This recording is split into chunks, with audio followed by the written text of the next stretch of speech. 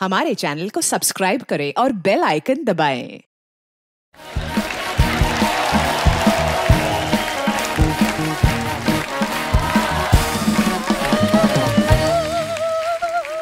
Oh! Oh जमाने के इतने बड़े बड़े कलाकार आए हुए हैं, मुझे तो यकीन ही नहीं हो रहा चूटी काट। हाँ। अभी भी यकीन नहीं हो रहा। कुत्ते से कटवाऊं कुत्ते से? आपको यकीन नहीं हो रहा आपके सामने बैठे हुए हैं। ये क्या हाल बना के रखा आपने अपना? वो सब छोड़ी सर मेरे दो हज़ार रुपए दे दीजिए मैंने इनका फेशियल किया है। ये डेढ़ सौ रुपए के मुँह पे दो हज़ार का फेशियल पैसे पैसे। एक मिनट। तेरे दो हज़ार रुपए मिल जाएँगे चिंता मत कर। वो शक्ति जी बैठे हैं ना और टीकू जी बैठे हैं उनके ड्राइवर्स के साथ बैठ के जाके वहाँ ले। हाँ। जब ये फ्री हो जाएँगे ना तो तो तो दिलवा दूँगी मैं। जा रहा है कि नहीं? चल। ये क्यों देंगे आपके लिए पैसे? अच्छा जी ये क्यों ना देंगे? अरे जिनके लिए मैं ब्यूटी पार्लर से सज धज के आई हूँ उसके पैसे यही ना देंगे तो कौन देंगे? हाँ? मुबारक हो। मुझे क्यों ब्लश करने लग गए देखो आप। पता है असरानी जी मैं ना दामाद जी को कह रही थी हफ़्ते भर से कि मेरे शक्ति टीकू आएँगे आएँगे मैं आपको दो हज़ार रुपया दूँगा रानी साहब ये ये मेरी ना मुँह बोली सास है ये परेशान करने आ जाती हैं ऐसे ही दामाद जी ऐसे मत कहिए आज मैं कुंवारी हूँ क्या क्या बात कर रही हैं आप शक्ति जी देख रहे हैं ना आप? वो तो देख रहे हैं बच्चों को मत दिख जाना कहीं डर जाएँगे वो। ऐसा है दामाद जी आप बीच में ना बोलिए आज मेरे क्रश आए हुए हैं। टीकू जी पता है जब मैं 90s में हाई स्कूल में थी ना तो हमारे स्कूल में छोटे बच्चों को टीका और हम गर्ल्स को टीकू कंपलसरी था। काश मैंने नाम बदल दिया होता। और शक्ति जी एक मिनट। आपके लिए भी मैं कुछ लेके आई हूँ। ये क्या? ये क्या है? ये क्राइम मास्टर गोगो है ना? आँखें निकाल के गोटियाँ खेलते हैं। तो मैंने कहा इन्हें गोटियाँ खेलनी होगी ले चलूँ। वैसे शक्ति जी मैं आपसे बहुत नाराज़ हूँ। आपने मुझसे मिलने में इतनी देर कर दी। जवानी में मिले होते ना तो आज हमारे घर में छोटे छोटे कंचे गोटियाँ खेल रहे होते। छोटे मोटे और अगर उन्हें चोट लग जाती तो वो आई मम्मी आई मम्मी ना कहते आओ मम्मी आओ मम्मी बोलते। शर्म आनी चाहिए आप। इतने अच्छे आपके वो पति हैं गोलमटोल से और आप इधर फ्लर्ट कर रही हैं उनके साथ। शर्म नहीं आती आपको? शादीशुदा है आप। अरे शादीशुदा हूँ मैं दामाद जी आपको पता है। शादीशुदा हूँ ये शक्ति जी को पता है लेकिन शक्ति जी की नीयत को थोड़ी पता है।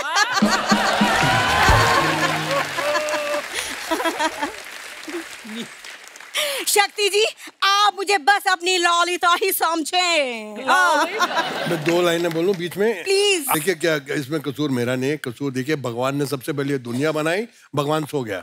उसके बाद आदमी को बनाया भगवान फिर सो गया। उसके बाद भगवान ने औरत को बनाया ना खुद सोया ना हमको सोने दिया!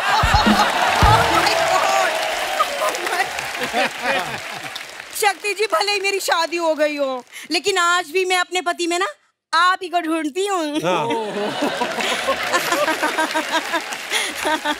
ये अपने पति में आपको ढूंढ रही हैं? पति इनमें ढूंढते रहते हैं, पत्नी है कहाँ?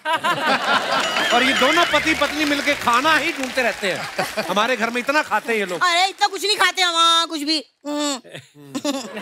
इतने भूखे हैं ना सरानी साहब ये। उस दिन मैंने कहा यार खाना बाहर से खा लो हमारी गैस खत्म हुई है। बोलते कच्चा आटा दे दो हम खा के धूप में बैठ जाएँगे। ये ऐसे लोग हैं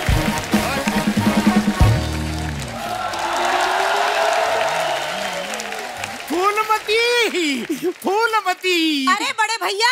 अरे बड़े भैया मैं तुम्हारा पति हूँ। बड़े सैया अभी तुम्हारी ही बातें कर रहे थे मैं। अच्छा अच्छा आप हमारे बारे में बात कर रहे थे तभी मैं सोचू नहाते वक्त मुझे हिचकिया क्यों आ रही थी? तो हिचकी आएगी नहाते हुए शर्म तो आपको आती नहीं। आठ महीने से ये लोग बेटी के घर में पड़े हुए हैं। ये कट्ठे कहीं जाते भी नहीं कहीं मैं पीछे से ताला ना लगा दूँ। अरे हम जाते इसलिए नहीं कहीं चोर ना आ जाए। असरानी जी बोलिए आप। आप लोगों के होते हुए उनको कहाँ मौका मिल सकता है बेचारे को? लोग बेटी की शादी में शगुन लेके आते ना ये वैक्यूम क्लीनर लेके आए। क्योंकि लोग पैसे लुटा रहे थे ये खींच रहे थे ये। ऐसी ऐसी हरकतें करते मैं क्या बताऊँ आपको? मेंटल सी आप ही बताइए लड़की की शादी में कितना पैसा लगता है? अगर हम वैक्यूम से खींच भी रहे तो इसमें क्या बुराई है? कौन सा पैसा लगा आपका? मुझे ये कहते हैं शादी वाले दिन कि आइए दो एकड़ में टेंट लगाए बेटी की शादी करने। अंदर गया दो हज़ार सामूहिक शादियाँ हो रही थी उधर। लेकिन एरिया दो एकड़ का था कि नहीं? एरिया तो आपका भी एक एकड़ से कम नहीं भाई साहब। चिल्लर जैसी बेटी चिपका दी आपने झूठ बोल के। भैया दामाद जी ऐसा है। शादी के रिज़ल्ट का तो मैं क्या बताऊँ? मैंने भी सोचा था कि मेरे को शादी के बाद टीकू जी जैसा कोई मिलेगा। ये सड़ा चीकू जैसा मिल गया। ये देख लो नखरे इनके। उबली हुई Raveena Tandon. Oh my god अच्छा। अरे हंस क्यों रही है? वो मज़ाक उड़ा रहा है तुम्हारा। उबली हुई बोला उबली हुई। बाद में रवीना टंडन भी बोला। अरे बहुत टाइम हो गया मैं आप लोगों को एक बात ही बोलना भूल गया। जी। गेट आउट आप हमारे मेहमानों का टाइम खराब कर रहे हैं आप लोग। को, कोई टाइम खराब नहीं कर रहे हैं हम। एक मिनट शक्ति जी मैंने आपके लिए कुछ तैयार किया है। कौन है ये? मेंढक कच्छा पहन के क्यों घूम रहा है? पांडु सबका नंदू। हाय हाय इतना गंदू? शक्ति जी कैसा लगा मेरा नंदू? हम्म? अरे वो करके दिखाना जो सिखाया था। बंधु सबका नंदू। आ आ अरे वाह ओए हमारे मेहमानों से दूर रहे मैं नाड़ा घुमा के ना फेंकूँगा जाके कौन बनेगा करोड़पति के सेट पे गिरेगा? देखो जीजा जी के बात का बुरा नहीं मानना। जाके शक्ति जी के पाँव छू लेना और उनसे शगुन के पाँच हज़ार रुपए ले लेना। खबरदार अगर हाथ लगाया तो शक्ति जी के पैरों को। ये सर जी फ्रॉड लोग हैं ये। ये नए नए तरीके ढूंढते हैं पैसे मांगने के। शर्म नहीं आती आप लोगों को? शर्म क्या है? अभी हमारी स्कीम का आपको पता चल गया है तो जो खुशी से देना है वो दे दो उसको बेचारे को। दे दो सर धक्की चिक्का धक्की। चिक्का ढंकी चिक्की दे लोनावला से कोई ढंकी चिक्की ले आते इससे। अच्छा ये क्या लेके आए हो? जरा शांत रहो दामाद जी। एक मिनट आप में से किसी को पसंद आया ना मेरा नंदू? तो गोद भी ले सकते हैं। ये गोद क्यों लेंगे? ये तो पैदा होने के बाद नर्स ने गोद भी नहीं लिया था इसको। ये तो अब सर इसके हाथ पैर निकल आए हैं नहीं तो जब पैदा हुआ था एक महीने तक लगता रहा अदरक हुआ है। हाँ ऐसा था ये तो अच्छा हुआ वो रोया वरना हम इसको कूट के चाय में डालने वाले थे। देखो जीजा का ठीक है वो हमें खाना देता है वो कुछ भी बोल सकता है। और तुम तो कुछ बोलो मत वरना मैं भी क्राइम मास्टर गोगो हूँ। आगे निकाल के गोटियाँ खेलूँगा गोटियाँ। गोटियाँ छोड़ो तुम सारी फैमिली छुपन छुपाई खेलो पचास साल तक चुप जाओ। ताकि तुम्हारी मनहूस शक्लें मेरे सामने ना आए। अरे। दामाद जी ऐसे मत करो हाँ? मेरे फेवरेट कलाकार आए हैं। शक्ति जी हो जाए एक ललिता के साथ dance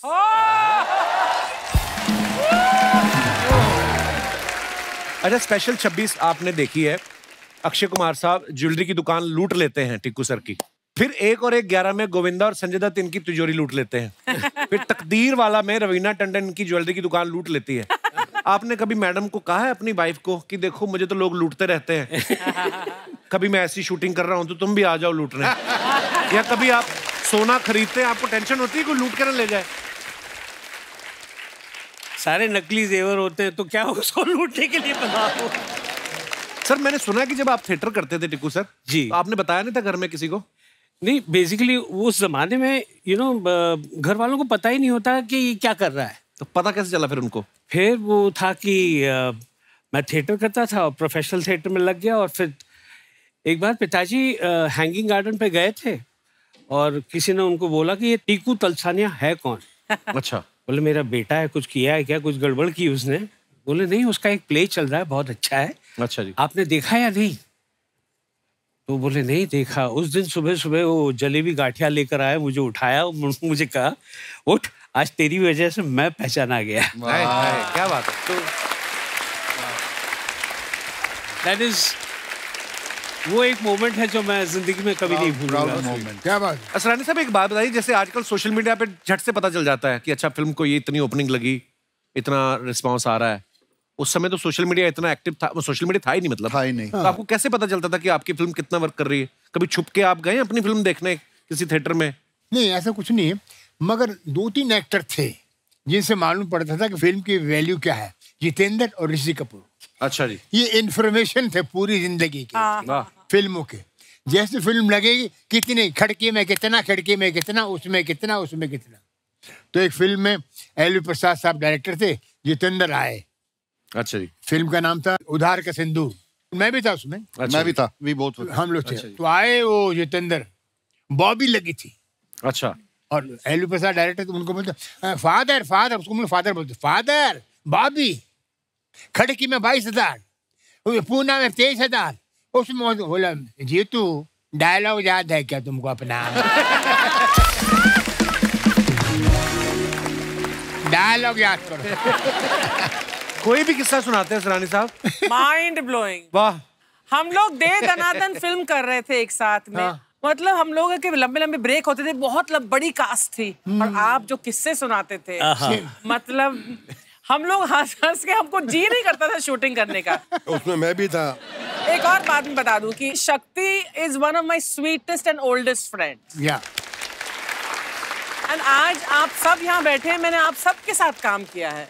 And you are such gentleman truly and such sweet hearts to work thank you stand up, please. Ah, yes. Oh.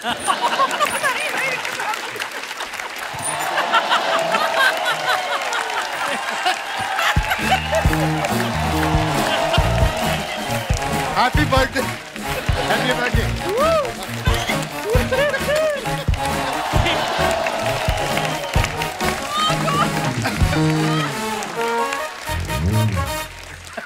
I take it. Very nice thank you बहुत मज़ा ये देखो।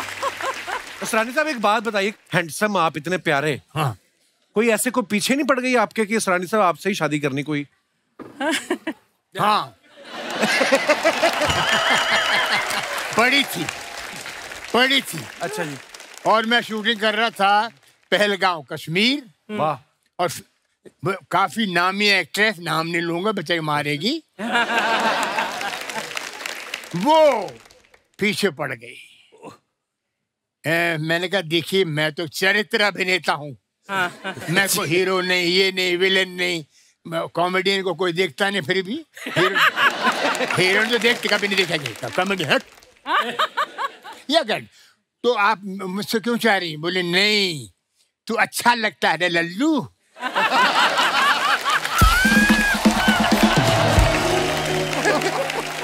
तो मैंने कहने मगर ऐसा कुछ नहीं। चलो मैंने मेरा थोड़ा, म- लगा कश्मीर है, ठंडा मौका है, मैं कुछ देख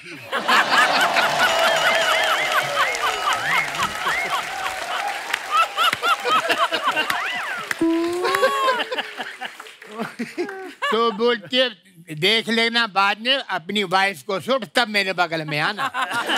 मैंने कहा चारी चार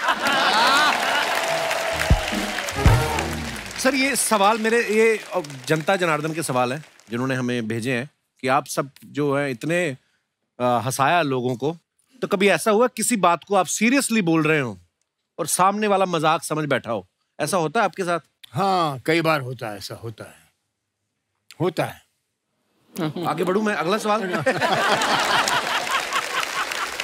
कभी ऐसा हुआ किसी हीरो की इमेज को देख के लगा हो कि यार इससे हमारी नहीं बनेगी और बाद में सबसे ज़्यादा उससे बनी हो। ऐसा होता आपके साथ? ये मेरा काका जी के साथ हुआ था। राजेश खन्ना साहब। राजेश खन्ना साहब के साथ हम लोग शूट कर रहे थे इन नटराज स्टूडियो। मैं उनके साथ नहीं शूट कर रहा था मैं दूसरी फ़िल्म की शूट कर रहा था। और काका जी मिले and he was a known actor I was an actor and हमें इंस्टीट्यूट में ये सिखाया गया कि रिस्पेक्ट दी एल्डर्स या या तो मैं बड़े प्यार से उनके पास हेलो करने गया। He didn't acknowledge and went off अच्छा। तो मैं भी पंजाबी में हट करके। Then we started working together अच्छा जी। और उसके बाद मुझे ये एहसास हुआ कि he was one of the finest human beings probably उस समय वो उस जोन में थे जहाँ उन्होंने मुझे देखा ही नहीं। एक्चुअली अपनी टेंशन में अपने प्रॉब्लम में कहीं समवेयर है। जी, जी। ही जस्ट डिन रियलाइज़ कि मैं हेलो कर रहा हूँ या कुछ कर रहा हूँ। तो वो एक मिसअंडरस्टैंडिंग बाद में हमारी पूरी हुई। देन हम लोग वर्ल्ड घूमे शोज़ पे गए। I was one of his favourite अच्छा आप और असरानी साहब ने कभी गए? लाइव टूर किया आपने? नहीं लाइव शोज़ नहीं किया असरानी साहब के साथ। पर असरानी साहब आप अगर करें तो आप तो मेला लूट ले। लूट लेते हैं। ना? लूट लेते हैं। मैंने बहुत शोज़ किए इनके साथ। एक छोटी सी बात बताऊँगा कि what I've seen uh, Asrani sir comparing shows and the big big stars in the show big big stars मतलब जब उनका इंट्रोडक्शन स्टेज पे आना होता था तो असरानी जी कराते थे। कि अब आपके सामने मैंने उन स्टार्स को असरानी जी के पास कान पे जाते हुए सुना है। असरानी जी मेरा इंट्रोडक्शन थोड़ा इससे ज़्यादा अच्छा करना Asrani ji please please please मतलब you know he was so good in you know comparing shows all over the world big hand to Asrani sahab Asrani sahab आपने तो लाइव शोज़ भी बहुत किए होंगे उस समय। तो कोई किशोरदा का किस्सा कोई मज़ेदार सा सुनाइए ना प्लीज़ चार लाइनें पाँच जो जितना भी आपका मन किशोर कुमार जी के साथ कलकत्ते में। अच्छा जी। भपी लहरी का शो। उसमें बाद में किशोर कुमार आने वाले हैं। और मैं अनाउंसर हूँ। अच्छा जी। नेताजी सुभाष ऑडिटोरियम खचाखच भरा हुआ।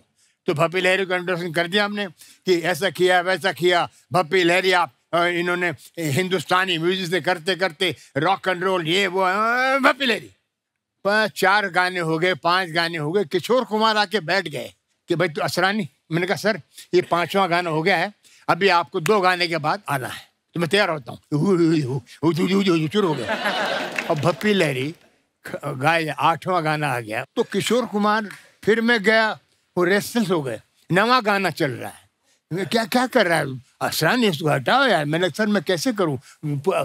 पंद्रह हज़ार आदमी बैठे हुए हैं और बप्पी लहरी के फादर आ गए। ना ना क्या गान है? क्या गाता है क्या गान है रे?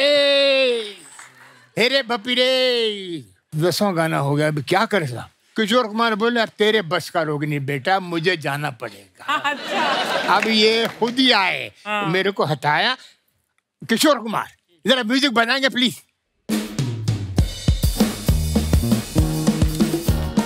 भपी रे भपी अरे भपी रे भपी अरे भपी रे भपी तू जाता क्यों नहीं? तू जाता क्यों नहीं? अरे भपी रे भपी तू जाता क्यों नहीं? अरे भपी रे भपी अरे भपी रे भपी